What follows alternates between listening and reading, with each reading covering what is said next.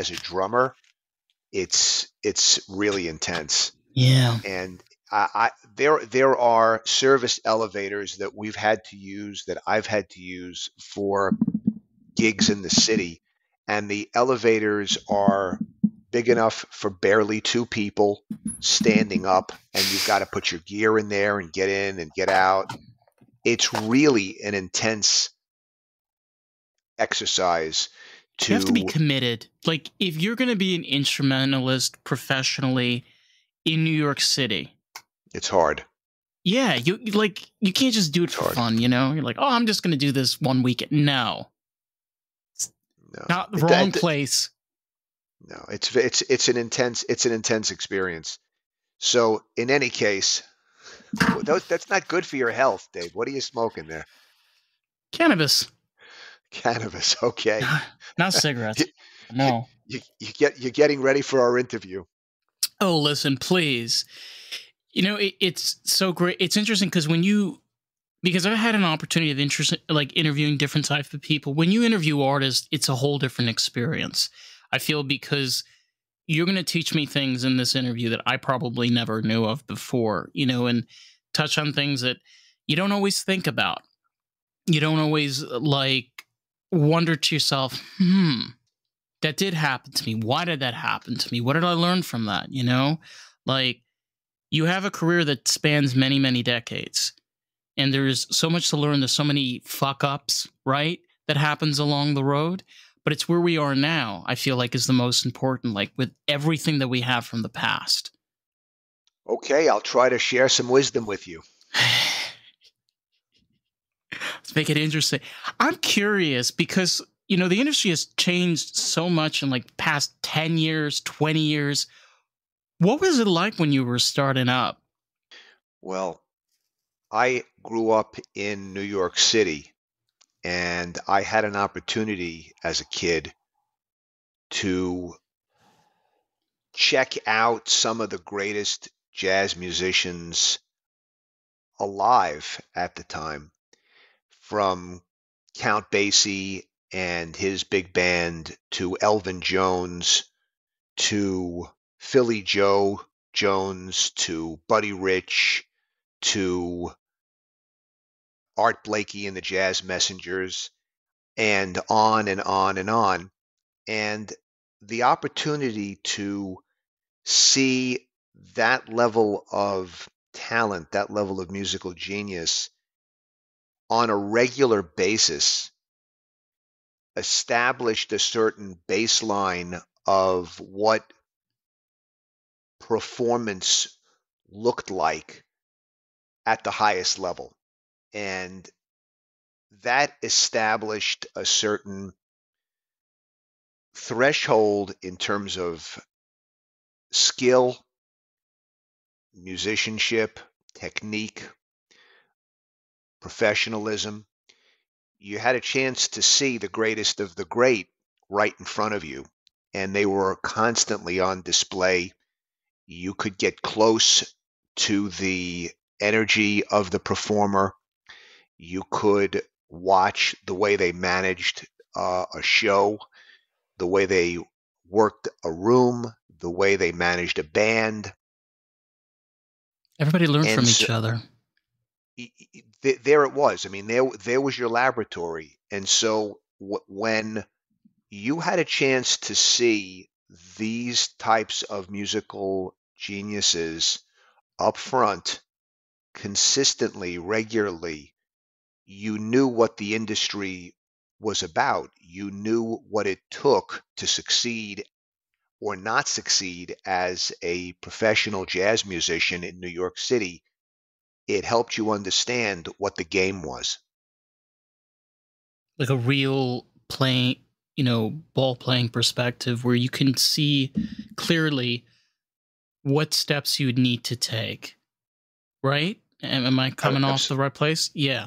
Absolutely. As opposed to what I see all too often uh, today, and that is uh, a level of fantasy, a level of uh, self delusion in, in some in some regard that Yeah. It is it is a completely unreal perspective that many younger musicians and I would go even outside of just the the musical field. I would just say in life in general, the people. For example, if you looked at somebody like uh, uh, a Buddy Rich or you or a Count Basie or a, or an Art Blakey or an Elvin Jones, these musicians poured their being into the passion of their music, their performance, the the level of their performance, and it established a certain benchmark that was incredibly high, incredibly intense, and it was incredibly consistent. There was Yeah. there really there were no bad nights. You know, there was there was brilliant and there was near brilliant, but there was never anything else. And when you saw that as a musician, you realized that that was what the the jazz industry, that's what these performers stood for. And if you were going to play this music, that's what you had to shoot for also.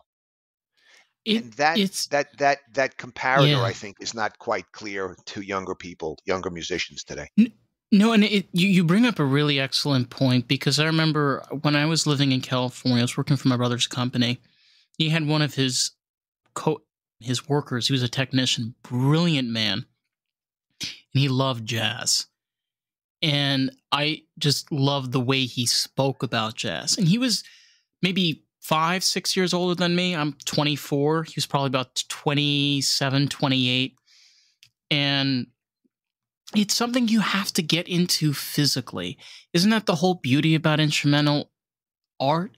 You know, seeing instruments being played, hearing them how they sound, what you can do with them. It doesn't happen on a TikTok video for 1 minute. Happens in real life when those moments happen, right?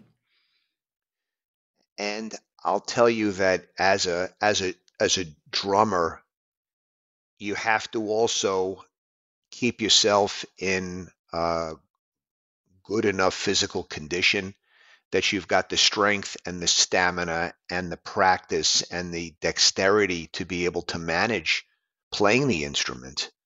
Um, and as a band leader, not only do you have to perform, but you have to speak to the audience. You have to communicate about the history of the music. You have to interface with the audience.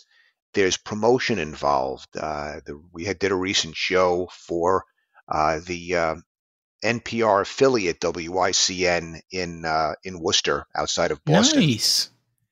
And we had uh, radio promotion, and I did podcasts, and I was on radio shows, and and on and on and on. And this is also part of the uh, commitment that the musician makes, so that there's got to be education, there's got to be promotion, there's marketing, there's of course the music component, which has to do with putting together charts and putting together tune lists and then coordinating with your bandmates. And sometimes there are rehearsals, but often there are no rehearsals. You just show up and you have a sound check and you play. You have to deal with the environment, you have to deal with uh, the equipment. Uh, it, it goes on and on and on. So these are all of the components and many others and that has nothing to do with practicing your your instrument and keeping your chops up and being able to uh, be prepared. Uh, I have a, a a comment in my head, Dave, that my uh, instructor taught me years ago, John Riley, the great John Riley, and he said to me, Josh, he said, when you're playing, when you're performing, he said, think about what you have to think about to be ready when you get to a point in the song to do what you have to do. Think about what you have to think about to be ready when you get there.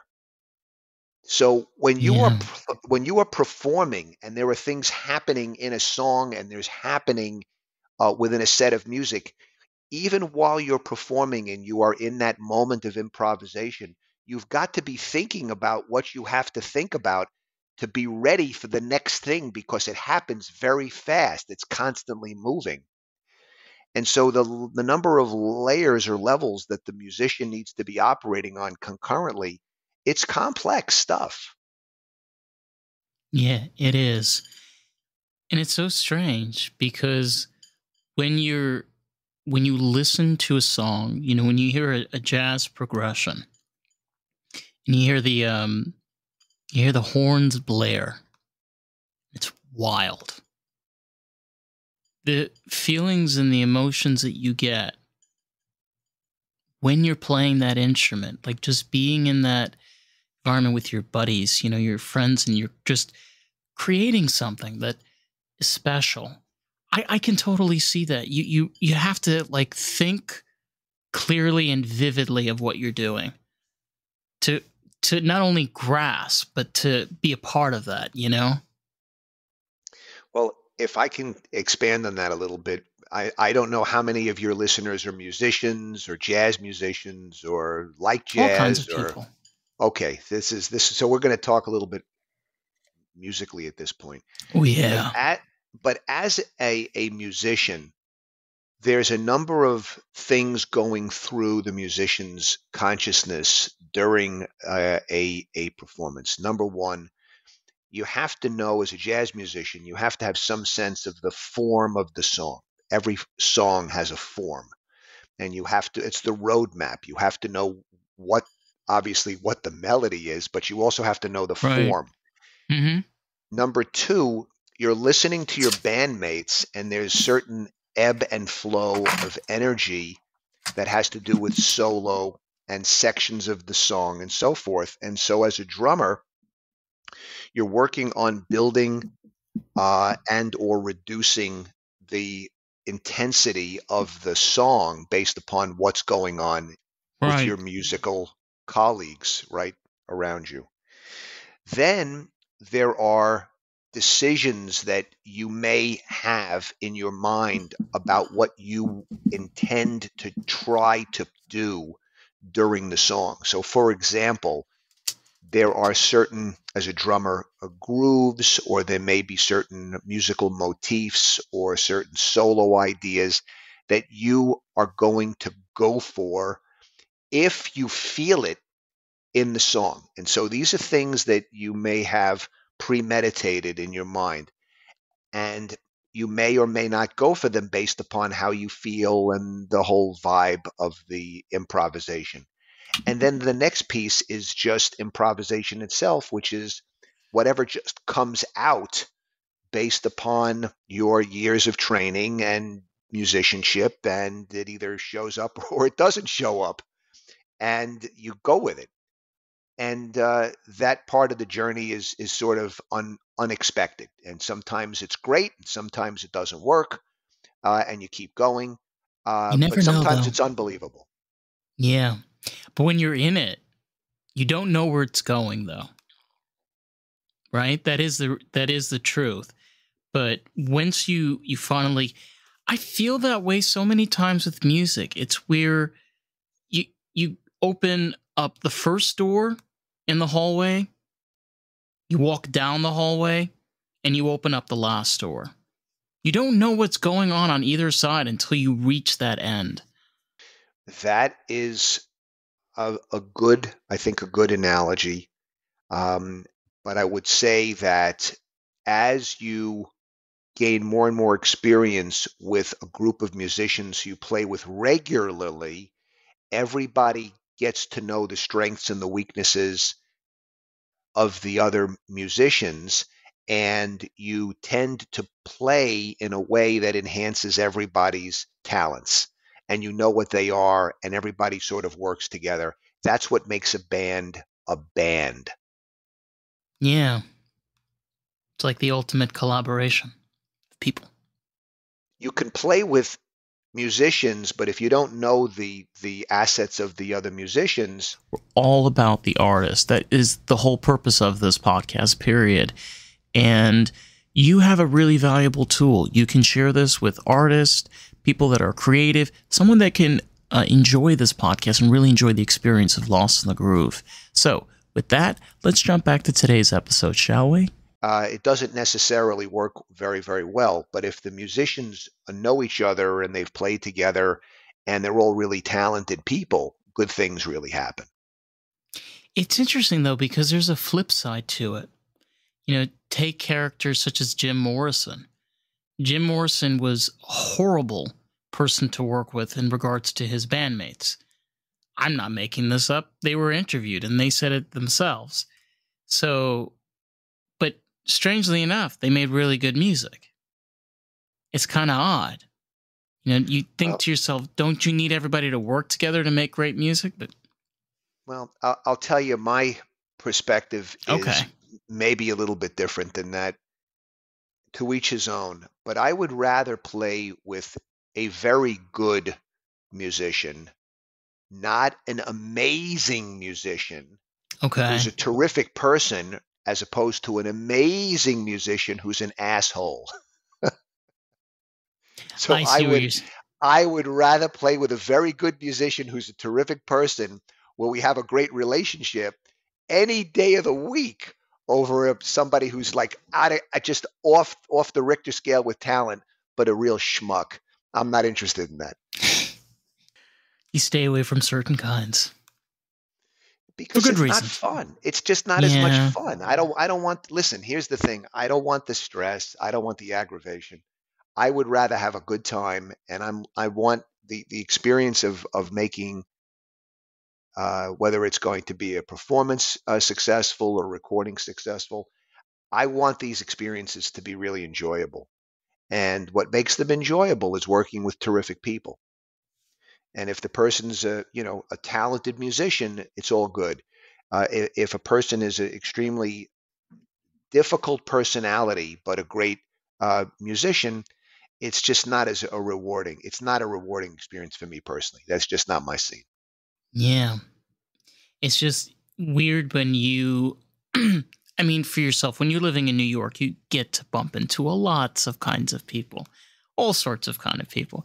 And I mean, I I I haven't met that many artists in my life comparatively. And it's weird when you I feel when you meet a certain amount and you you see how people are, you know, like you mentioned, where there are people that are super talented, but then there's also like they're super shitty and they're just a horrible human being. But then you can get someone that's a good person, they're pretty good in real life too. Like you get that equal balance. You know that because you've met people. You've interacted with so many people. You've seen how they performed and how they are as individuals when the lights go down. Correct.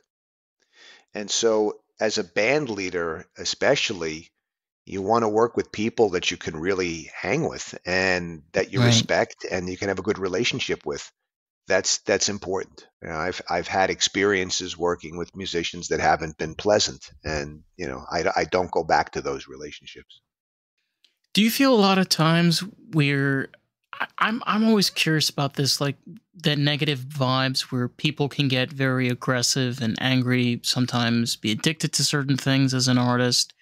I think it's like due to pressure or life. I feel like there's a lot of factors that go into it, but there's something that causes that. I I don't you know think it would be appropriate to generalize, but I can say that typically you know, people who are musicians are very sensitive people. And with a high degree of sensitivity come uh, sometimes uh, certain uh, emotional challenges. Right. And, you know, some people deal with those uh, sensitivities and those emotional challenges uh, better, some don't. And uh, that, I think, is part of the experience of working with the musical uh, uh, personality, uh, it's it's less common uh, to find uh, people who are artists who are also not only you know left brain and right brain oriented people. That's not that common. It, it it occurs, but it's not that common. Yeah, I don't know. It's just that there's a lot of things that that goes into being an artist. You know, it, it's not just about being playing an instrument. It's also being sometimes the the odd person out of the group. A lot of the times, people gravitate towards playing drums, playing bass, because they don't necessarily fit in. They fit in elsewhere. That's their niche. That's their groove. you know, people who are musicians or artists on any level, uh, and you could take any art, dance, uh, media, music, uh, any form of music.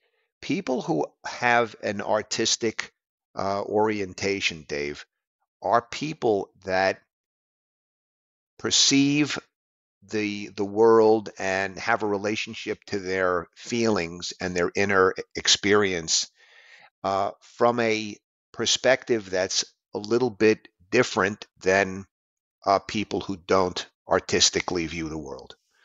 And they feel the need to express the uh, perceptions that they have, the feelings that they have. It's important to them. Uh, s- a- and, and what you get uh, varies obviously from artist to artist, but the, the artistic individual has a, a point of view, uh, whether it's emotional or um, perceptual, that's a little bit different. Typically, it's it's interesting. It's it it's sort of like a, a, a new a new point uh, uh, from which to look at and examine things, which makes people say, "Huh, that's cool. That's interesting. I wouldn't have thought of that. I wouldn't have felt that." Right. and uh, they want to share that and hopefully people gravitate to it sometimes just a few sometimes many but that's that's the artistic personality uh, to some degree i think Yeah. Wow. It's interesting to look at it to look at it from that approach. You know, because I mean, when you sorry, when you spend the time learning an instrument, you know, spending your time um, figuring out the different chords, the different progressions, and the, the different things that you can do. And, you know, like we've mentioned, on top of the fact that, you know, being a part of a band, collaborating and learning across from other, other, other kinds of people. But that takes effort. That takes something to put in, you know, and it starts somewhere. well as a as a uh, musician as a jazz musician i, had the uh, point of of starting listening to Gene Krupa and Buddy Rich and Joe Morello and and um, Blakey and and and Philly Joe and Jo Jones and it just goes on and on and on. And so I had a chance to listen to the aspects of their playing that inspired me as a kid and what I thought sounded great, I'd try to copy. I try to understand how do they play that? How do they do that? What technique is required to be able to do the things they do? And inevitably, if the music inspires you as a musician and these musicians inspire you in terms of what they can do, then the question is what do you have to practice? What do you have to be able to do to emulate or copy what they do?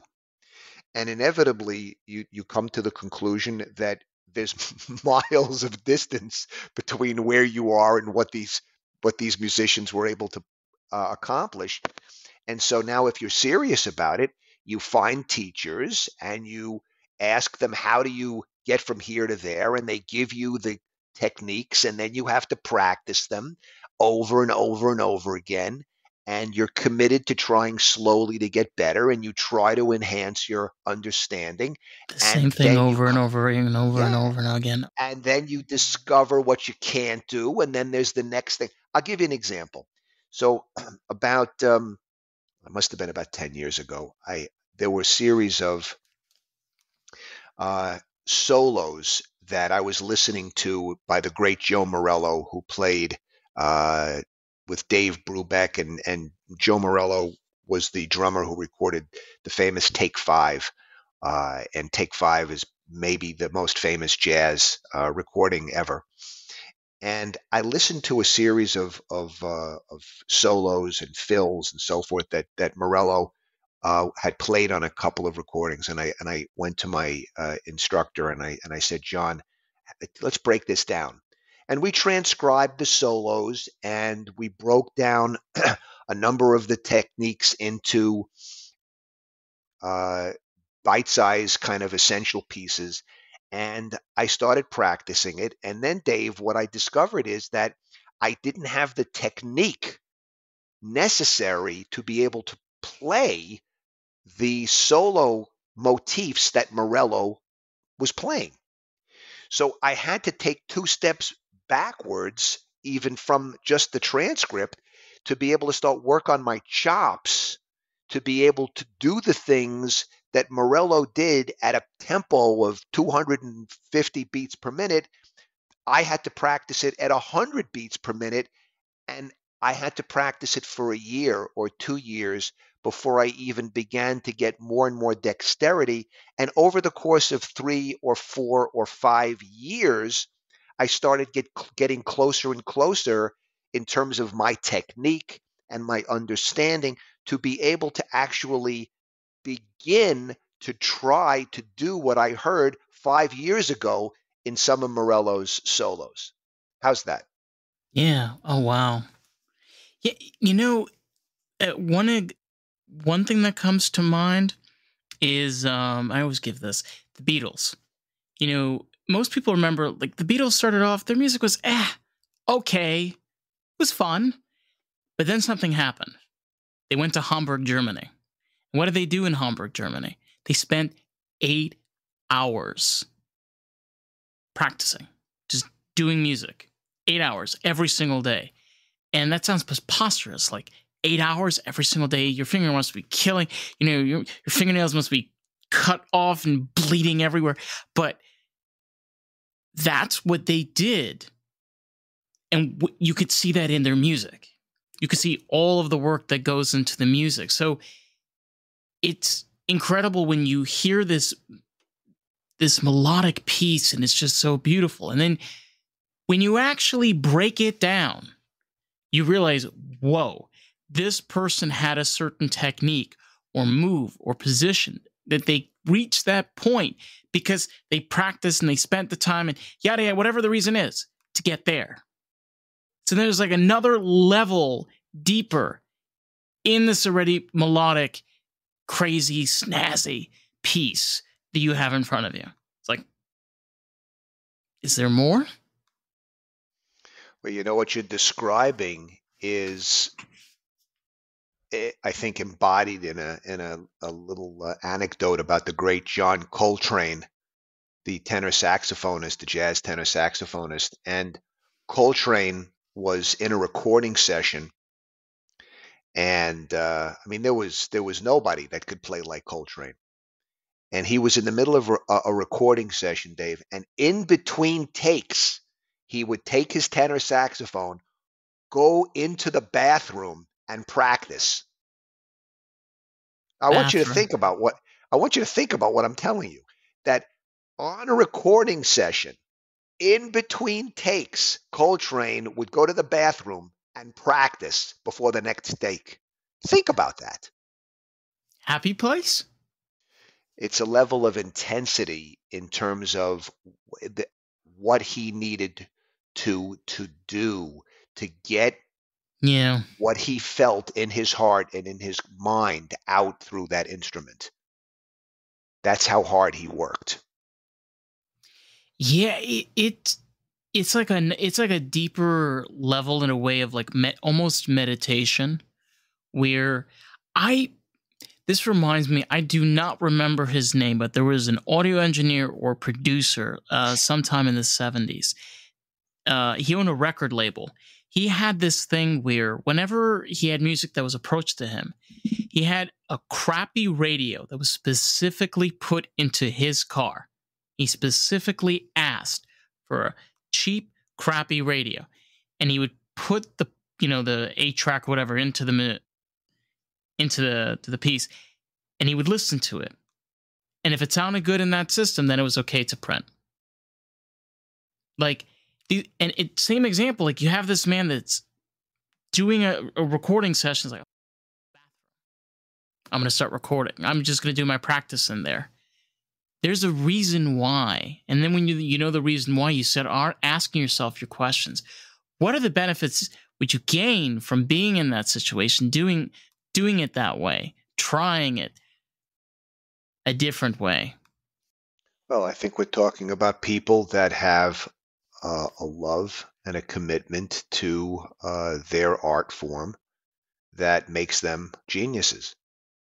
This is why they're as good as they are. It's not just uh, magic that they they get this good. They work their ass off and they never stop. Yeah, that's the point. That's the point. point, and that's to get back to one of your earlier questions. That's really the key, in my opinion, to becoming a good musician, an excellent professional musician, is you have to have a commitment uh, to practice and evolve your your technique and your ability. Uh, Peter Erskine, the great drummer and, and uh, educator, uh, talks about how your first obligation as a musician is to listen to music all the time for the rest of your life.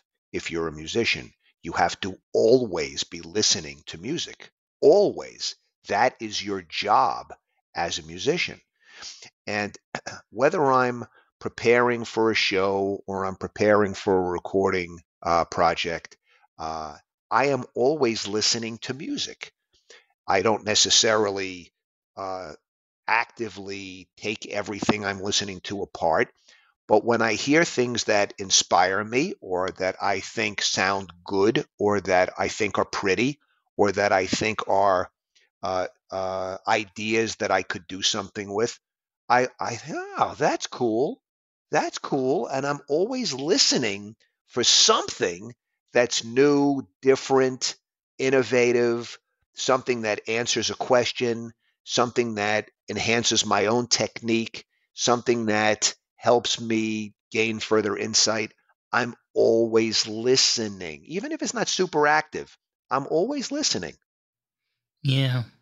It's something that we kind of forget. You know, it's where, let's be real, having an open conversation is not a legit thing these days. You know, the, the second you start opening up your mouth, uh uh uh, you know, uh, you know, I don't agree with that opinion. So what? Who cares? You know, if you put that type of mentality, can you imagine if you had that type of mentality on music? Well, people have that mentality about music all the time. Not in my circles. Okay. I mean, seriously. Eh, yeah. Oh, I, I, I hate that. I, that's that's well, you know. Look, when I was a kid, I was very, very close-minded to many, many different forms of music outside of jazz. I, I liked. I was a snob. I liked jazz, and that's kind of what I like to listen to and I didn't listen. I didn't like you mentioned the Beatles. I didn't care for the Beatles, and I didn't like the Jackson Five or Michael Jackson stuff. Or I mean, I I wasn't into it. I have to say.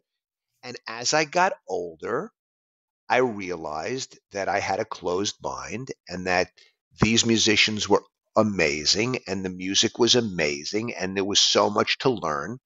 And you know, I, I mean, I, I will never tell you that Ringo Starr's uh, solos were, you know, they stopped the show. They didn't.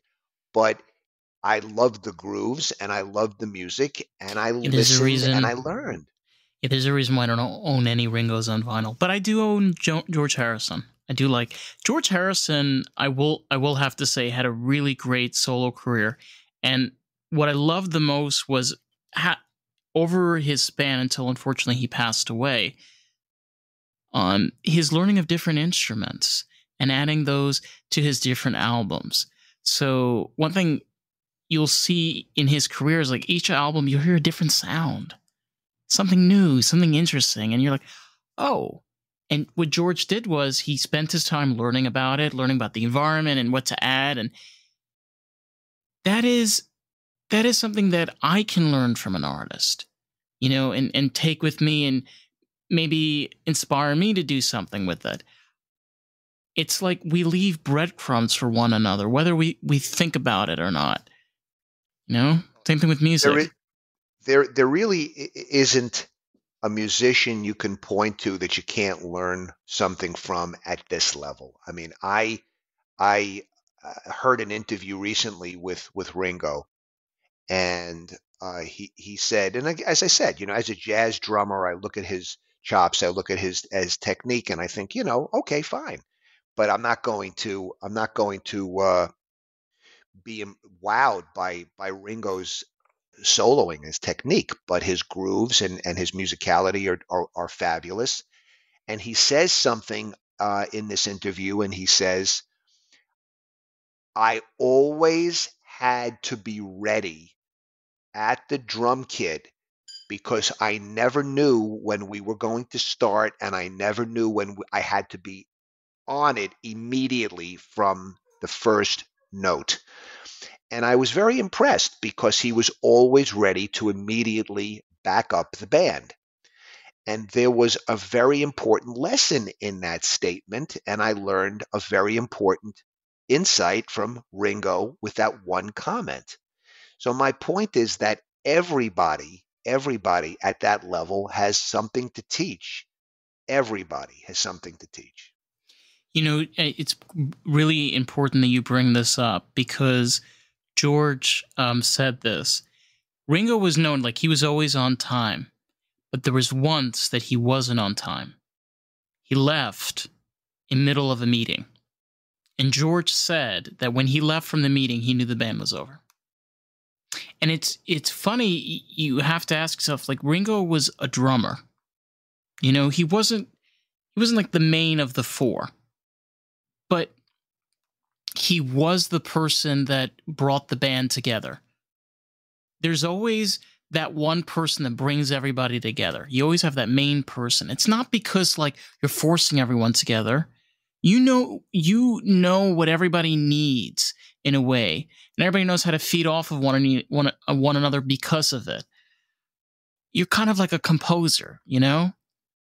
Well, I I, I don't know whether the drummer is the composer most of I'm just time. giving that as an example in, in the case of the Beatles, but yeah.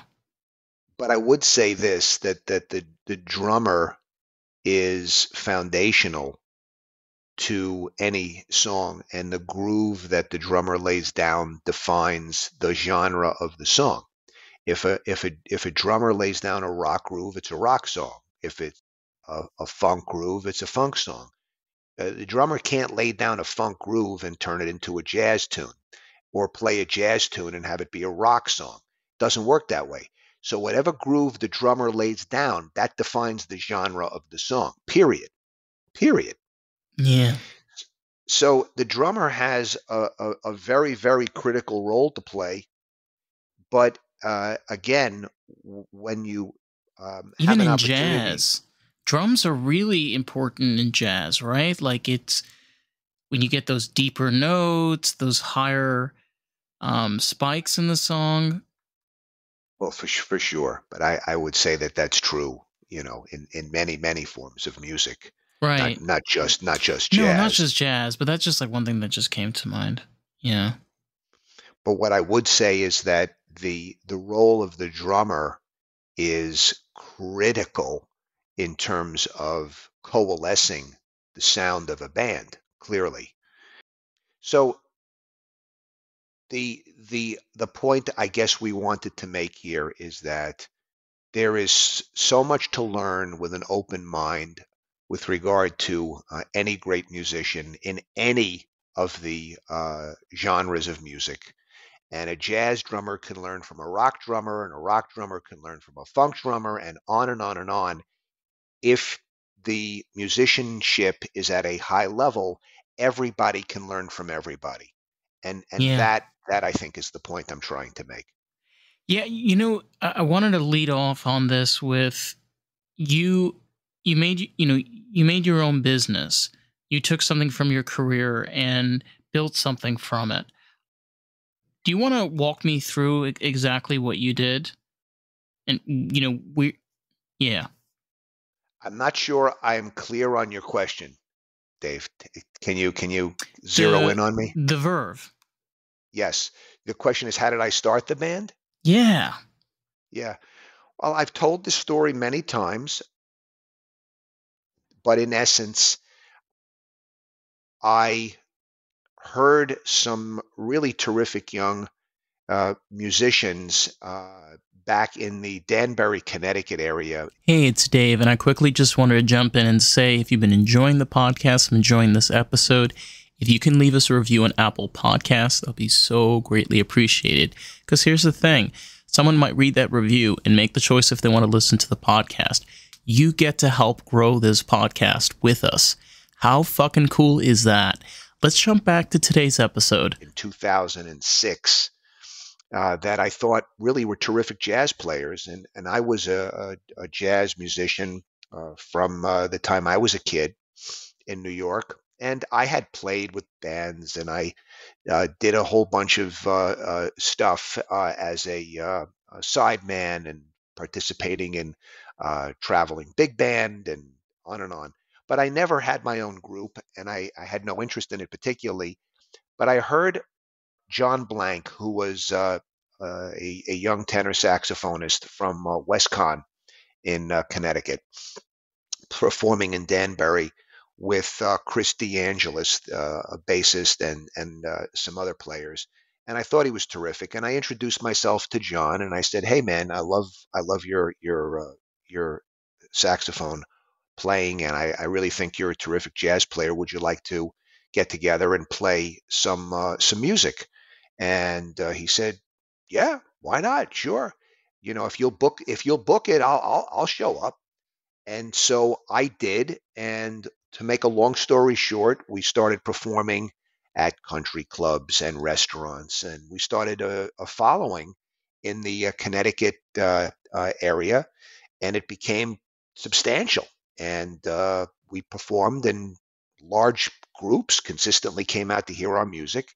And this went on for years. We eventually recorded our first CD uh, in 2012. Uh, it went to number five on the national charts. Uh, I was completely shocked, and I said to the uh, to the radio promoter uh, Neil Sapper, who was handling our music out of California, I thanked him for this amazing experience, and uh, he said, "What do you mean?" I said, "What do I mean?" We recorded our our CD. We had this amazing experience. I'm done. I'm going back to you know performing. And and he said, "You can't do that, man." He said, "You just you just have a number a number five uh, a, a CD on the charts. You can't just disappear. You you need to do another recording." I said, "No, I don't." He said, "Yes, you do." So I said, "All right, all right, one more." So we recorded another album and we released it a year later, and it also went top ten. And that's when I realized I said, well, maybe there's something here. Maybe we really do have a following. And that was the beginning of the band uh, sort of migrating from a performing group more to a record a recording group. And um, that was the beginning of a, of a run of about uh, five, five top 10 albums, including a number one album in 2018, Connect the Dots. And uh, the Verve Jazz Ensemble started to develop a national and international following. And uh, here we are, you know, 10 years later into our recording career and uh, almost 20 years into the beginning of the band. And uh, we have a, a big following nationally, internationally. And we've recorded and released eight albums. And, uh, you know, there it is. But it was, it was not by design. It was not by design, Dave. It was not by design. It all sort of I mean, happened by, you, by you said you said you were you going to do one and you were done. You know, you were going to move on and and finish. was it. I mean, what has it turned into now for you? I mean, a lot of things have changed, especially when you started your career as a um, as a jazz musician to getting a, a part of this and to where you are now. I mean, how has it been for you? Like, especially like in the past few years. First of all, I love the music. I do this purely because of my love of the art form. Uh, you know, we don't do this to make money, obviously.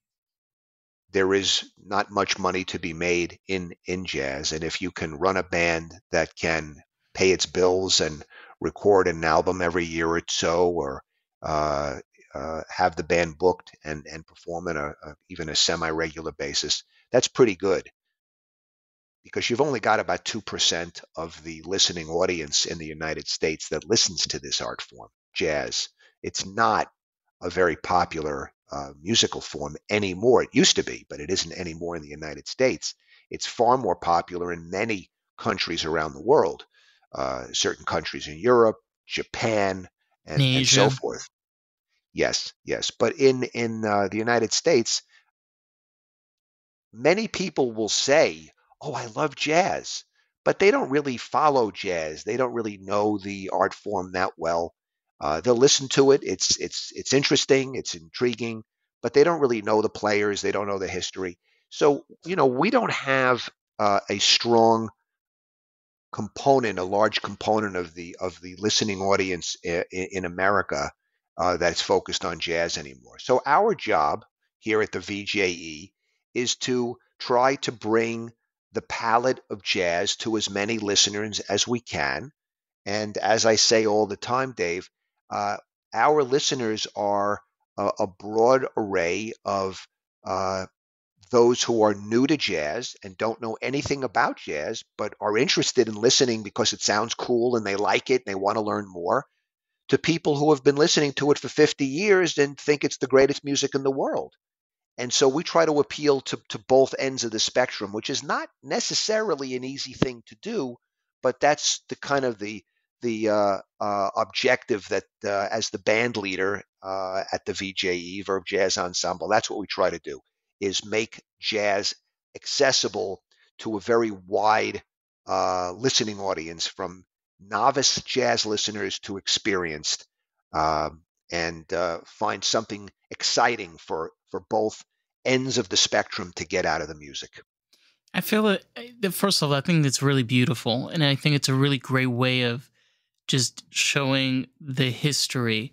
There's so many genres, but there are so few genres that have such deep roots, especially in American culture. I mean, think of the 30s, the 40s, the 50s, 60s. Just the jazz scene look like I'm not a novice or, you know, I listen to jazz. I don't know all the names of different people, but um when you can you can interact and hear different tastes like people that are now right that they're interested in funk and they want to do funk jazz you know or somebody is more interested in more of a pop you know pop jazz or more hazy you know more mellow jazz these are different things that people can try out you know people yes. can see and interact with and I like jazz. I mean, it's sad that it's only 2%. You know, you wish that like more people would be into it, but it is what it is, man. Yeah. There's a lot of there's, it's a lot of reasons that only 2% of the listening audience listen to this music today. That's a whole other conversation. How did yeah. we get here? But if you go back to the 1930s. I'll I'll pick up on some of your comments. You know, the pick up on the the big band era, uh, and you follow the era of the, the, the early big band era to the uh, period of the big bands during World War II, and then to the bebop era, and then to uh, cool jazz, hard bop, West Coast, uh, Latin Afro-Cuban, more electronic uh, jazz. You get into the stuff like Weather Report, Brecker Brothers in the 70s. Yeah. Uh, you move into the 80s and, and so forth. Every uh, decade, every uh, generation of music evolved a sound and they took the art form in a different direction. So you're interested in jazz who are some of the people that you like to listen to? How did you discover jazz initially? What were some of your influences as a jazz listener? It's hard to say like some things that I I don't have any specific people that I like to listen to. I have a I have a certain playlist, and this comes from how I used to listen to jazz. I listen to a lot of like New Orleans 1930s jazz, um, 40s. That's primarily what I'm into. Um, if I listen to vocal, it's going to be Ella Fitzgerald or Billie Holiday is one example. Um, the way that I fell into jazz was when I was a kid. We used to go to the library. People don't do this anymore. Surprise! But one of the librarians there was very into jazz, and I remember I was looking at a bunch of DVDs and CDs and stuff that they had laying around. And I started playing around and listening to this stuff when I was a kid. And whenever I have the opportunity to see like a jazz performance, whenever I'm out or something, I just like sit there. It the reason is because a lot of the times when you don't physically see it, you don't realize that there's four or five instruments and they're like facing a corner. And then the you have the clarinet blows and you see the drums you know changing its beat and then you see the bass player changing to a different instrument. It, you're kind of watching everything move in motion all at once. But yeah i i should get more into jazz. I really want to but well it's nice that you are interested in ella fitzgerald as an example and if you if you just take Ella's career, oh, uh, Ooh, you know, she's powerful got, voice. Just uh, she's un, unbelievable. she was, you know, the the, the voice described as the voice of God. And whoa, if you li- if you listen to all of the different organizations, musical organizations that Ella performed with, Dave, if you just follow her career from Chick Webb back in the 1930s all the way through uh, her career. You you will touch almost every component of every major jazz performer for I don't know what 50 60 years. So if you just if you just examine Ella Fitzgerald's career and you listen to, to all of the bands and all the different musical styles that she played with over the course of her career, it would open you up to a hundred or more of the greatest jazz musicians of all time. Just that one exercise would change your entire perspective yeah. to jazz. It and like I was saying earlier, there was something about that period in New Orleans when it came to jazz. You could hear it. I mean, thankfully there are recordings and so many of them it was a different time. It was like as if this is all they had to live for. That's it.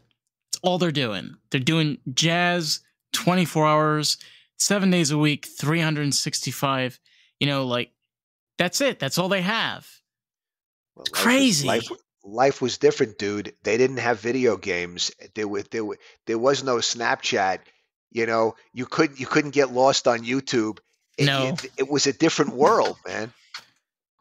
I mean, how did did that ever inspire you? You know, did you ever like what what's your um experience and like feelings towards that type of jazz?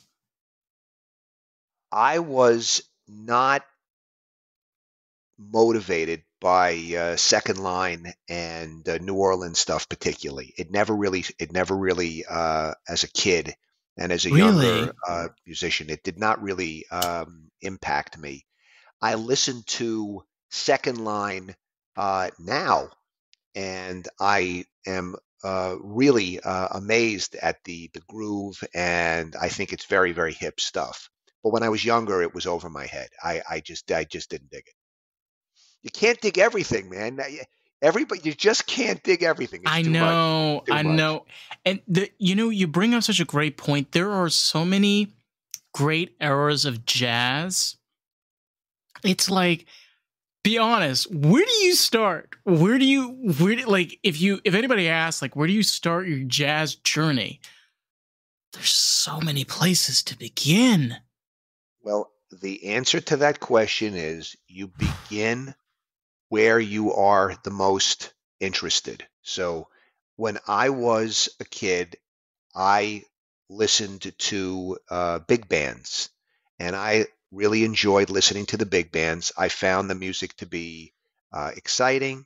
Uh, I could understand the components of the band. I played in the junior high school and high school bands, so I had a, a context to understand the structure, sax section, horn section, rhythm section, uh, the way the songs were constructed. All of that made sense to me, and uh, I, I I got a lot out of it. Then I started learning the the specific performance aptitudes of some of the greats, greatest pianists, greatest drummers, greatest horn players. And then I would spend time learning other great pianists and alto sax and tenor sax and trumpet and and trombone and drums and bassists. And you know it, it, it, you just start mining different ore of of of the of the musical landscape.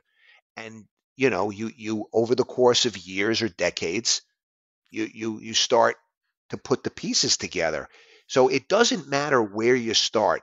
It just matters that you start at a place that you enjoy. And if you like for example weather report and you or you like funk and you want to listen to uh, you know, uh, I, mentioned before, you know, the Brecker brothers as a, as a place to start, uh, or you know, you like Ella Fitzgerald and you want to go back and listen to what she did and recorded the jazz um, uh, uh, uh, um, in the in all the performances that she did at jazz at um, was it uh, yeah, Paul the, with, Phil, the Philharmonic. Forgot the J J A T P. She, she performed at the Apollo though many times.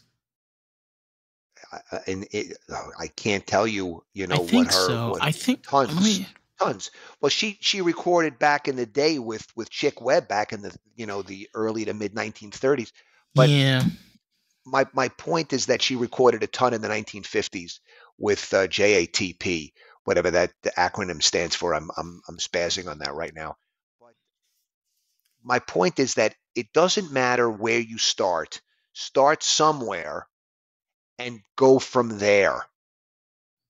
I think this is one of the biggest advantages that we have now is the the amazing fact that because of the internet we have so many ways of listening to all of this music than ever before. I mean, the options before the internet were very limited. You know, the ways that you'd be able to find all these interesting artists was you go to a music store and you ask the music dude, you know, the guy with dreads that was behind the cash register. But with the work that you're doing, and, and that is that is a perspective to keep in mind. How do you be able to give an opportunity to let everybody hear just have everything in front of them, choose, figure out what you like. You know, like you said, you don't need to start somewhere you need to begin. You got to find what you like and go from there. Yeah. Don't don't overly complicate it. It is Jazz at the Philharmonic. JATP is is the acronym. And Ella Fitzgerald performed for many years with the the Jazz at the Philharmonic uh, program. And just check out her music just with with the JATP uh, artists. it doesn't matter, uh, Dave, where you start. Uh, it you you you start based upon what you like to listen to, and you go from there.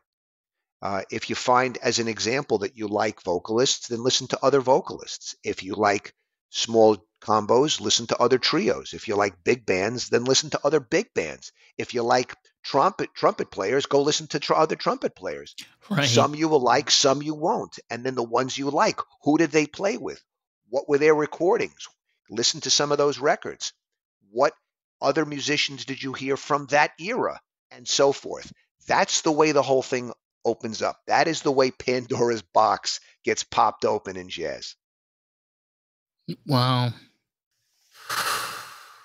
You all right, man? I, I hope you're okay. I'm not. No, I'm good. Too much information. You know, no, it's a, it's a lot to process. It, you know, like like I said at the beginning of this, there's a lot of things that you learn as you do this. You know, one of the things is when you you talk to people and you have an hour long conversation and you really break things up and you you go to different places and you not only learn something, but you you learn to have a different approach to it. You're like, okay, doesn't need to be that difficult. You know, it, it could be more of an easier state of mind, you know? It doesn't have to be left or right. Dude, this is supposed to be fun. This yeah. is not supposed you don't have to have a, a, a master's degree to listen to jazz. And unfortunately, a lot of people think that jazz is too freaking complicated and they turn off. And my message is no, no, no, no, no. Jazz is not intended to give you brain damage. You're supposed to listen to the music because you dig it, you enjoy it. And then if you find something you like, explore other components of it, whether it's vocalists or instrumentalists or eras or group sizes or whatever that are in the neighborhood and explore. You have to have a curiosity to expand your horizon a little bit at a time. Take little steps, but don't turn this into walking into a liquor store with 72,000 different kinds of red wine. You don't get there overnight. My God. Yeah, and you know, you're right. It's you can overcomplicate other genres too. You can overcomplicate rock, you can overcomplicate heavy metal. You know, you could overcomplicate house. I don't know if you could do that. Sorry. but, I don't know, but but the idea here is my my job. My job as a jazz musician is to try to make jazz easy. That's my job. I got to try to make jazz easy. If I make jazz hard, I failed because jazz should be fun.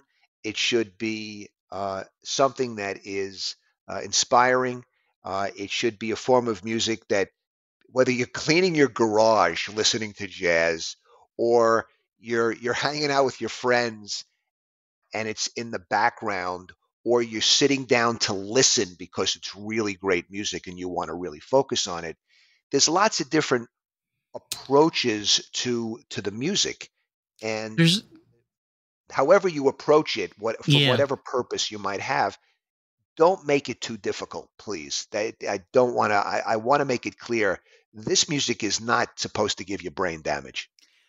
No, and it's something I wanted to point out, uh, which I wanted to say earlier is, especially for for some people, when you know when you're smoking cannabis or people that do edibles, cannabis has a very interesting way when it comes to jazz, and I've noticed this.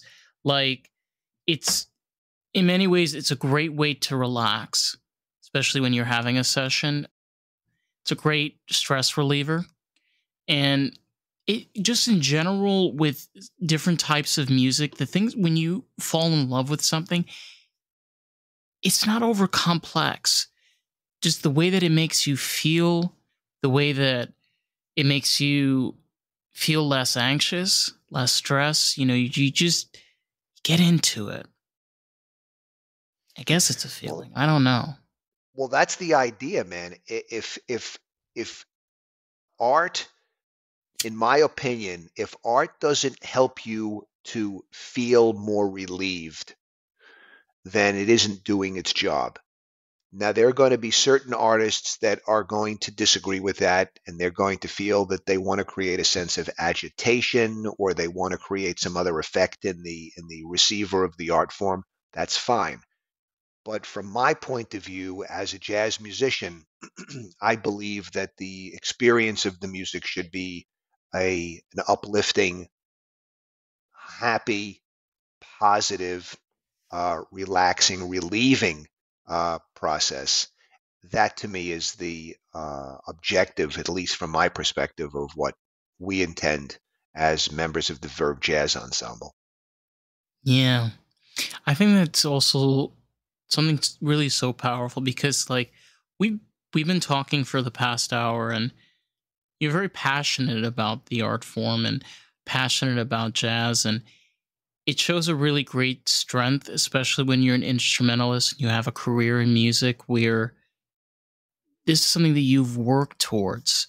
You know something that you've built towards and more than that is you got to be an artist you know, I, I feel like that is the number one thing, especially for younger artists today, is like that opportunity. I I thank you for your kind words, and that's a nice compliment. I appreciate that. And uh, you know, the path was simply one of following what I enjoyed listening to. Uh, I was inspired by other great musicians. I endeavored to try to understand what they accomplished to some degree. I put in enough time to practice enough to be able to attempt to emulate uh, some of the music that they played. I uh, attempted to uh, share the insights with other listeners, uh, and I did it because I loved it. Uh, and that's the key to all of this. I did it because I loved it. I continue to love it. I, I want to share it because I feel that it brings meaning and hopefully some good vibes to other people's lives. And as a musician, that's what I bring to the game. Uh, so uh, if if that is what turns it uh, an interest into a career, I so be it. But that's that's it. I mean, I, I don't actively teach. A lot of my colleagues do. Uh, I, I, don't have time for that. Uh, but I share what I uh, do enjoy in the art form verbally. I do podcasts. I do a lot of interviews. Mm, you know, this is, I guess, my my shtick. I, I this is the educational part of, of what I do. I, I talk. Well, it's a good way of doing it, and it's a great way of broadening approach and awareness to jazz, and maybe possibly getting some people that weren't interested in jazz, giving them a second thought. You know, let me let me try this out. Let, let's see how this goes. Uh, question for you: for all these wonderful people, where can they find your work, the stuff that you're doing? I know you have a website. We have all of those things. Well, if you'd like to follow the Verve Jazz Ensemble, go to uh, followvje.com and join our email list, and we will keep you posted on our performances and recording projects and other cool things. Uh, verve-jazz.com is our website, and we have all of our recordings and, of course, our performance calendar and videos and uh, reviews and all kinds of stuff on the band and bios and uh, interesting, interesting stuff that people can learn about the musicians and the music and the projects and all of our work. Uh, and of course, you can follow us on um, uh, all, all of the major uh, social media platforms and listen to us on Spotify and Apple Music and uh, everywhere that you can find music anywhere. Perfect. That's great. You got one great place to get everything and to check out all the different sides of jazz and learn something. You know, I, I, did see on the website where there are articles, there's biography there, um, so you get to read and learn some things about um, instrumentalists and artists you didn't know before. Um, and uh, if you want to find out the podcast, uh, you could find us on Facebook, TikTok, Instagram, and YouTube at Lost in the Groove Pod. Uh, so, with that, thank you so much for coming on and sharing your work and your experience and career. Josh, it's been a real, been an absolute real pleasure. All right, guys, we'll see you on the next one. Bye, everybody. Ha,